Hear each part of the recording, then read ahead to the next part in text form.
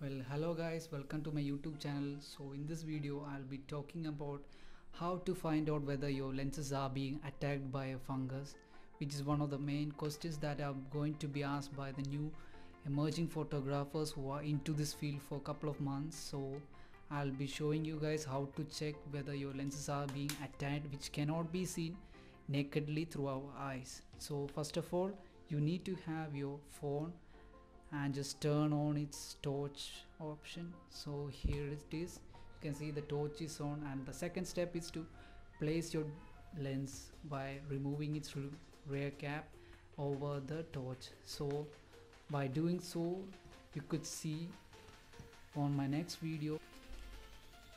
So here is it guys. This is how the fungus gradually grows on your lens which cannot be seen through our naked eyes but by the help of a torch you could see the fungus growing like the spider webs here. So it just start growing from the either side either from the left right left side or the right side and gradually comes to the center. So it must be take, taken a real care over that otherwise it might damage your lens. So next thing i got to talk about is what to do if your lenses are being attacked by the fungus.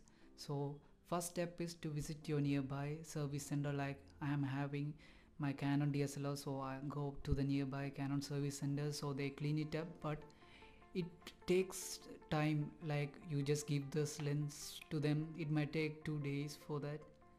Or you might keep this lens under a uv lamp which is another main thing that you can do within your house which eliminates small parts of the fungus but it is not for a long term. So basically i would suggest you to visit your service center and get it cleaned.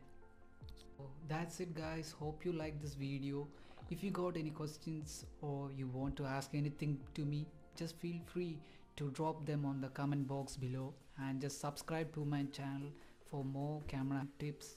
So catch you in my next video. Bye